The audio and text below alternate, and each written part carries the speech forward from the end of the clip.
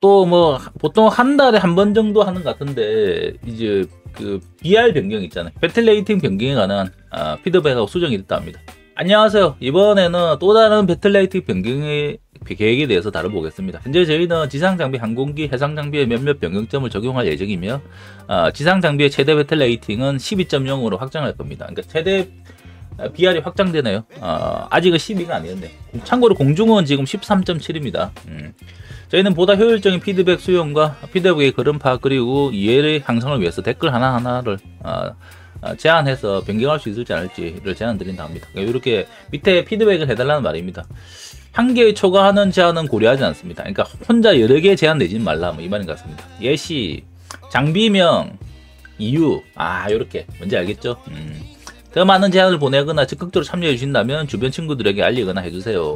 그래서 여기 피드백을 요 밑에다가 그냥 남기면 되는 것 같습니다. 네, 로그인 해가지고요. 자 그리고 이제 실제 변경된 battle rating을 먼저 확인해 봅시다. 여기 나오죠. 자세한 목록. 자 보니까 이제 battle rating 변경이 나오는데 이거는 지상이니까 우리는 공중 유저니까요. 일단 공중부터 봅시다. 자 변경되는 게 보자. 이게 리얼리틱이죠. realistic 보면은 J11이 13.3에서 13으로 내려가네요. 그러니까 버프네요. 어, 수 27도 있고. 아, 이게 13.3에 있기에는 힘들다고 생각했나 봅니다. 지금 폭스3가 있는 거랑 없는 거는 하늘이 땅 차이거든요. 그러니까 이게 여기서 변경되는 게 그럼 무슨 근거냐? 한 달 동안의 승률일 거예요. 승률이 너무 바닥을 치면은 내려가더라고요. 그러니까 BR을 올려, 그러니까 내려주더라고요. 버프죠. 그리고 승률이 너무 좋으면은 BR이 올라가는 거예요. 탑재신데 승률이 좋으면 어떻게 하나요? 이제 그건 손댈 수 없는 거죠. 꿀 빠세요. 자, 이렇게 바뀌었고요. 그러니까 수 27이 바뀌었고, 그 다음에 J11A 프랑스 이거 사와 M 세, 그 6발 있다고 13.3 보냈는데 이제 13으로 내려갔네요. 이게 맞는 것 같습니다. 사실 13에 있는 그리펜도 타기 힘들어 죽겠어요. 네. 의미 없다. 네. 그 다음에 네츠는 13에서 12.7로 가고 이거는 F16AJ, 아, 일본의 AJ가 12.7, F16A, 중국도 12.7. 이게 뭐냐니까, 스페 쓰는 F16 있잖아. 애들 다 밑으로 내려가네요. 12.7로. 13에 있을 이유가 없는데. 내려가네요. 네, 제갈 길 찾았습니다. 그러니까 이게 뭐냐면, 타이거 샤크급으로 다 내려간 거야.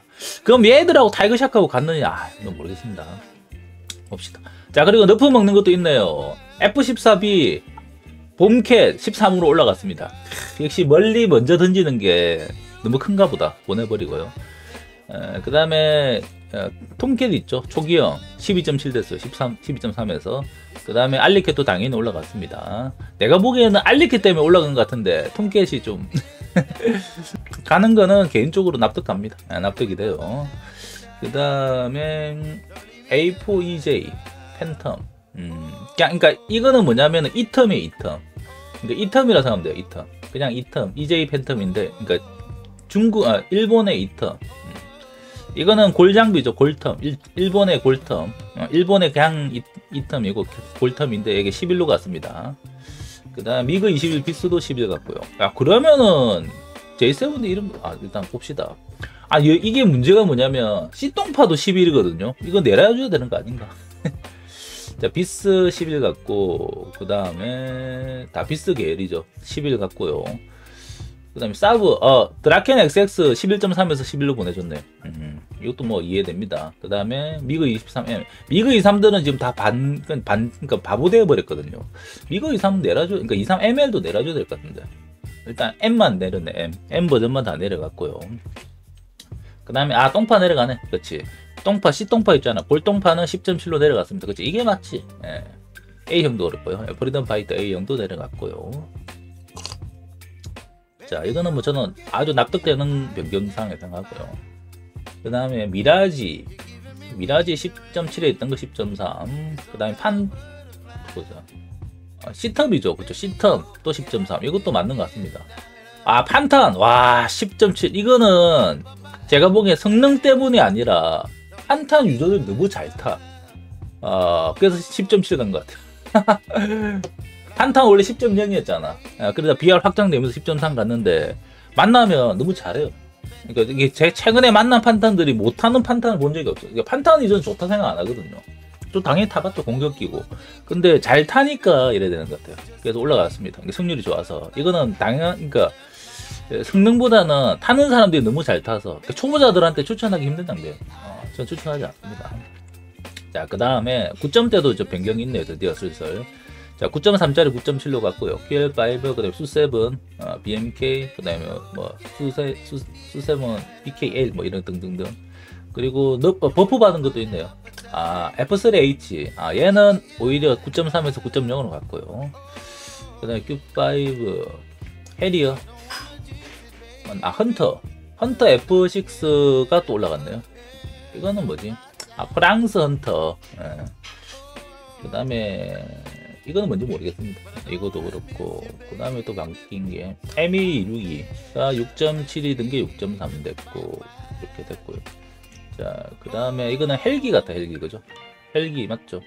헬기들이 전반적으로 모두 다 이제 BR이 올라갔네요. 아, 최근에 이제 지상전 확장된다고 했잖아요. 그게 맞춰서 이제 BR을 조금씩 올린 것 같습니다.